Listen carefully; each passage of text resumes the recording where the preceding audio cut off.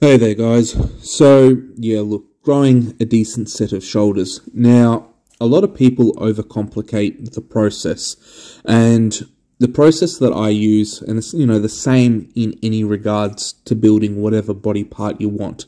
Um, you need to take whatever you're trying to do seriously. So, in the case of shoulders, try and look, you know, at it from the perspective of trying to get stronger as opposed to necessarily just trying to grow bigger shoulders. And when you look at the goal differently, um, you know, it becomes much more objective as opposed to subjective.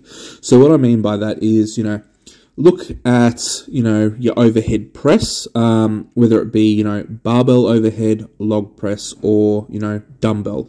Um, and then what you want to try and do, you know, whatever variation you choose, you want to try and increase the weight and the reps, you know, on that given exercise. The more reps you get in general, um, you know, the more hypertrophy you're going to get to an extent. Um, for me, you know, I chase 20 reps just because, you know, for me, I found going really high rep um, had a lot more carryover in terms of upper back development um, and also just helped you know me with my general shoulder health. Not that i have any issues with shoulders but um, you know i do a lot of heavy bench pressing. So looking after the shoulders in that regard um, and not you know going heavy heavy all the time um, makes a big difference because i go relatively heavy with bench press anyway. So when you look at you know your overhead press in that light and you know you start treating it like you would your bench press your squat or your deadlift and you're trying to be competitive about it you'll find that you know your numbers are going to increase which is then going to lead to overall more you know deltoid development. Now i heavily favor the one arm press because when i do it i'm not fixed you know on a barbell. Um, i find you know if i'm trying to barbell press heavy overhead i I'm not going to say I lean back, but there is a lot more um, spinal extension involved, and I find, you know, that spinal extension can aggravate my lower back um, if I'm pressing multiple times a week versus the dumbbell, because, you know, you don't have to lean backwards to get out the way of the bar.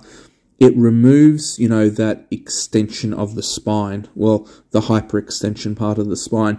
Um, because when you're standing upright, you know, in theory, your spine, I'm not going to say it's in, ex in extension, but it's not also, it's not in flexion either, but as soon as you start leaning back, it's classed as being in, you know, hyperextension. Um, so yeah, you know, the dumbbell I find, you know, removes that aspect and there's a bit more, you know, lateral flexion of the um, spine. That's where you're leaning. And, you know, the spine, well, mine anyway, is really good at handling um, lateral flexion as opposed to, you know, spinal extension, and many people will be the same. So, you know, look after your back in that regard, and that's obviously, you know, if you're looking after your back, you know, it's not going to hurt, you know, pressing overhead. Um, again, you know, coming back to the one arm press, because, you know, you're working one arm at a time and you're not fixed with a barbell, you can find a position which feels really comfortable to press. And generally, if something feels good, you know, and the movement feels correct, your chances of injury are going to be quite low. If you're doing something that feels awkward and, you know, it doesn't feel right, um, chances are, you know, you're missing a few cues, you're not doing the movement correctly, you know, the list goes on. So you want to pick a variation of pressing um, that feels, you know, normal, that you can do correctly. Um, you know, the deltoids are made up of, you know, three separate, you know, heads. Um, so yeah, look, it's, it's an area of, um, training that a lot of people struggle with. You know, they'll just end up injuring themselves if, you know, done incorrectly. Um, you know, in the deltoid as a whole, you know, it's obviously a very strong muscle and it's actually more, you know, developed, you know, to generate power as opposed to, you know, statically pressing overhead. And that's just due to the shape of the muscle as well. So, yeah, look, you know, coming back to it, you want to have a, a strong you know, movement overhead, um, choose whatever variation you want. Then, you know, some of your um, lateral raises to work, you know, more of the medial portion of the deltoid is going to help. And the other big one is rear delt flies. Now, you know, if you're only focused on, you know, the anterior aspect of the deltoid, um, your shoulder as a whole becomes, you know, not the best term, but unbalanced and just leaves you more prone to injury in general. Some people can get away with it. I'm not one that really can. Um, so I make sure I do rear delts. Um, and, you know, just treat the movement seriously. You want to probably overhead press once, you know, seriously a week and then just do a lighter shoulder session. The lightest shoulder session might be your front raises, your lateral raises, and all your rear delt stuff. Um, it'll pump a whole lot of blood into the shoulder and help it grow. But, you know, your main heavy overhead pressing, you know, treat that as a priority. Four sets of, you know, 12 to 15 reps will work really well. Um, and yeah, you know, just really try and take your time with the exercise as well. Don't rush through the sets. Give yourself anywhere between five to seven minutes between sets for full recovery when you're pressing heavy overhead.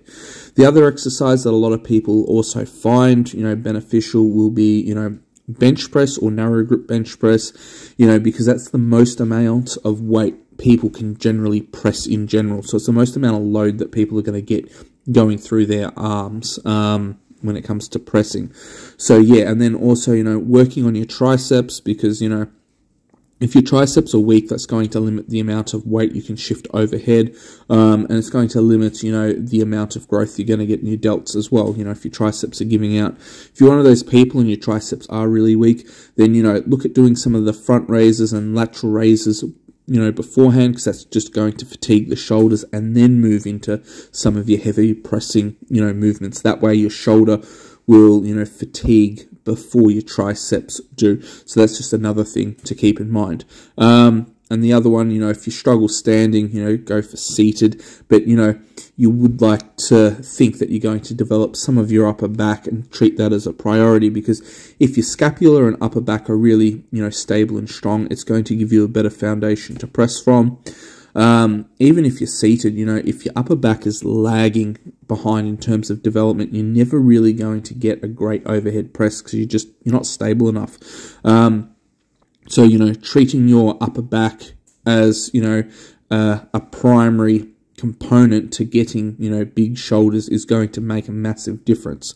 So there's a few things in the equation. You know you might start your overhead press session with you know overhead pressing followed by some of your lighter lateral raises and rear delt flies.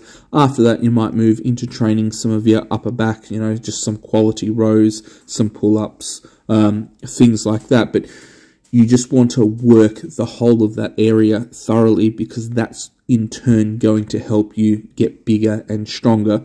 And, you know, that's that's the goal when it comes to pressing overhead.